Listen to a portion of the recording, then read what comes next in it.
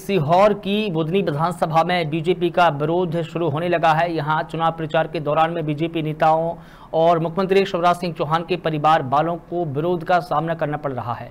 आपको बता दें कि बुधनी विधानसभा क्षेत्र से ऐसे दो वीडियो सामने आए हैं, जिनमें एक वीडियो में बुधनी विधानसभा के गाँव बसंतपुर पंगरी में बीजेपी के पूर्व अध्यक्ष और प्रदेश महामंत्री रघुनाथ सिंह, भाटी बीजेपी के प्रचार के लिए लोगों को बिठाकर एक सभा को संबोधित कर रही थी। इस दौरान एक नाराज़ व्यक्ति वहाँ आकर सभा को खत्म करने और नेताओं को वापस जाने की बात कहने लगा। व्यक्ति ने कहा कि पंचायत का सरपंच हूँ और यहाँ आकर झूठे आश्वासन मत दो। इस दौरान वहाँ झूमा झटकी भी देखने को मिली है।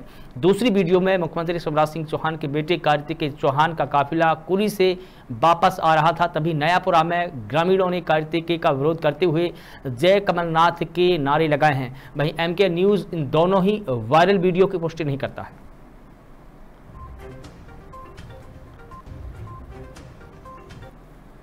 कॉलेज के समय से अध्यक्ष रहे, सीओ जैसे कॉलेज में आपका बड़ा वर्चस्व रहा। ये हमारे समाज सेवी आदरणीय सुरेंद्र सिंह जी अटलिया साहब, हमारे मंडल के महामंत्री भाई मोनू भैया, मेरे साथ आए रामदेव भाई,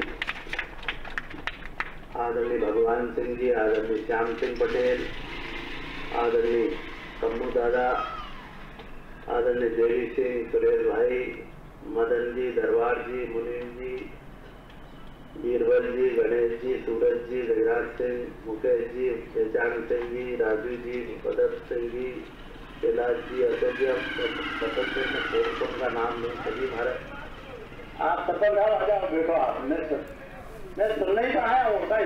अरे यार रुक जा। दर्शन सुन ले यार कंप्लीट हो?